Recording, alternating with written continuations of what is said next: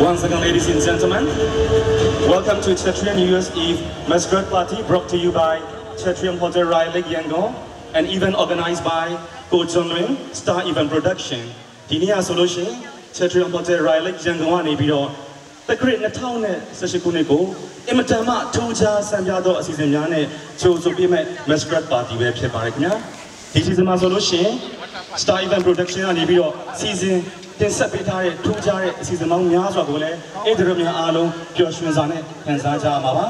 ကျွန်တော်ကတော့ညီညာအောင်ဖြစ်ပါတယ်ခင်ဗျာဒီနေ့မှာအခုလိုမျိုး party host တူအဖြစ်ပါဝင်ခွင့်ရတဲ့အတွက်လည်းအင်မတန်မှဝမ်းသာဂုဏ်ယူမိပါတယ်ခင်ဗျာအဲ့ဒီလိုများအတွက်ဒီနေ့မှာဆိုလို့ရှိရင်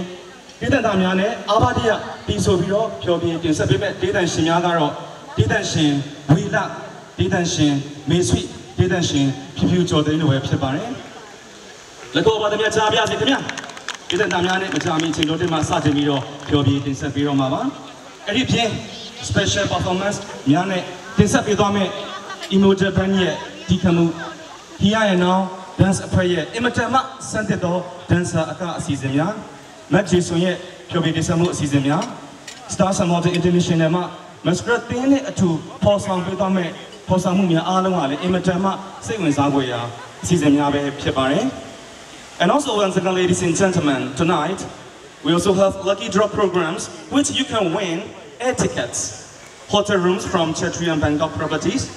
hotel rooms in Bagan, restaurant tickets in Chetrium, Club Rizzoli karaoke tickets, Nimita spa tickets and many more for you to enjoy the event tonight ဒီနေ့မှာ lucky draw season လည်းပါဝင်ပါတယ်ဒါကြောင့်မလို့ဧည့်သည်တော်များအနေနဲ့မိမိတို့ရဲ့ ticket လေးများကို ပုံနဲ့မကွာတင်းပြီးထားကြဖို့ဒီနေ့ကနေပြီးတော့ထပ်မံလို့ပန်ကြားပါရစေခင်ဗျာအဲ့ဒီအပြင်ကျွန်တော်တို့ဒီနေ့မှာနောက်